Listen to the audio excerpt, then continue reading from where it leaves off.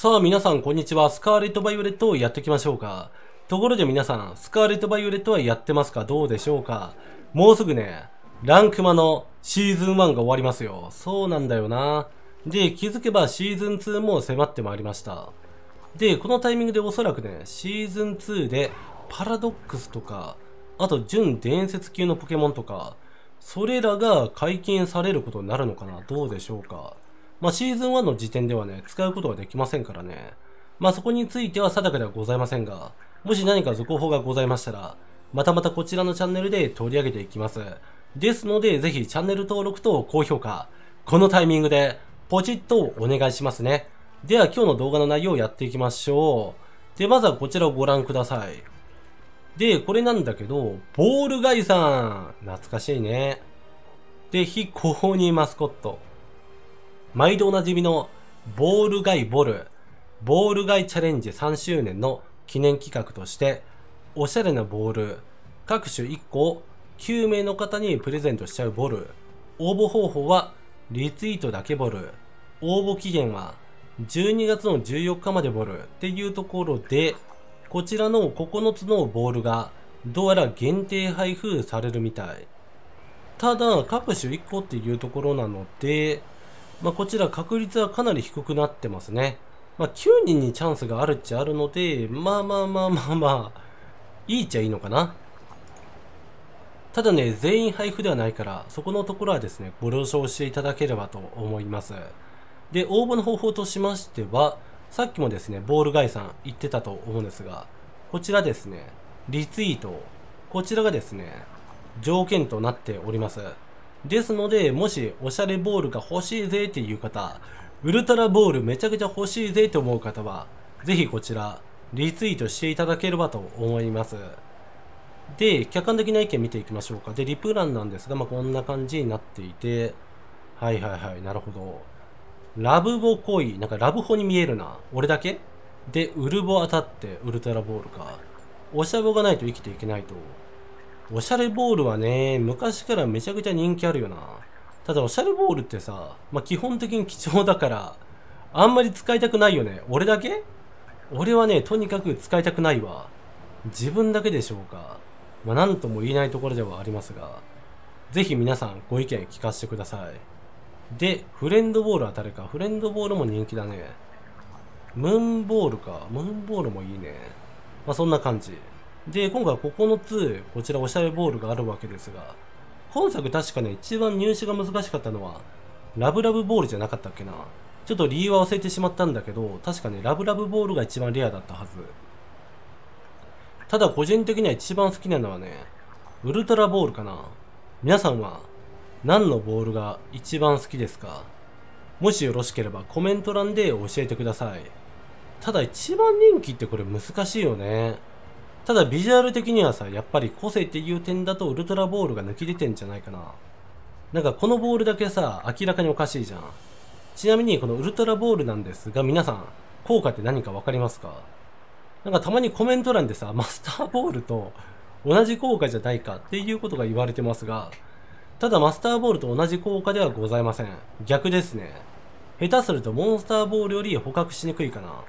このウルトラボールって呼ばれるものは、基本的にはウルトラビースト専用のボールとなっておりまして、一応普通のポケモンも捕獲することできるけど、ただ捕獲率が著しくね、低くなってしまうみたいな、そのような謎の効果がございます。まあ、それを踏まえると、どうなのかなっていうところは、こちらウルトラボールありますね。だからまあ本当に、ウルトラボールは記念に持っとくって感じでしょうか。はい。ちなみにね、自分はおしゃれボール、今どれぐらい持ってるんだろうね。一度も使ってないので、多分そのままなんですよ。で、ボックス、ボックスじゃねえな。バックか。見ていきましょう。で、おしゃぼおしゃぼおしゃぼ。マスターボール欲しいな、個人的に。ちなみにマスターボールまだ使ってないんですよ。皆さん使ってますか？マスターボール。まだ使ってないっていう方が多いのかなまあ、ダウンロードコンテンツももうすぐ出そうだからね。まあ、一応残しておいた方がいいのかなっていうところで、マスターボールはこちら据え置きとなってますね。で、まあこんな感じになっていて、はいはいはいはいはい。で、おしゃぼはね、ここら辺かな。ここら辺ですね。ゴージャスボールはね、別におしゃれではないような、普通に売ってた記憶があるわ。で、ムーン、ラブラブ、スピード、で、リピートは、えっと、もともと、売ってってたっけ？この3つかな？おしゃぼは。なので俺全然持ってないな。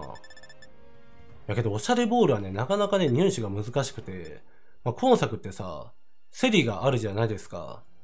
で、あの、セリで頑張ってお金積んで競り落とすか、ないしは、なんだっけ、最強大会か。学校最強大会で優勝して、その報酬でかなり低確率ではあるけど、もらえる時があるから、それをね、狙ってもらうかみたいなイメージかな。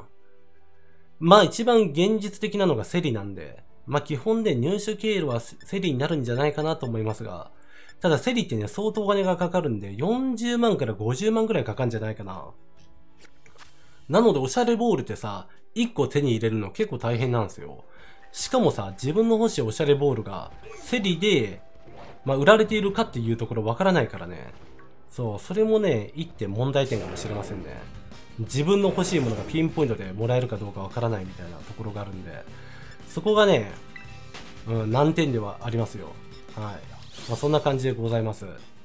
まあ、とにかくね、本当に、おしゃれボールは集めておきたいところよ。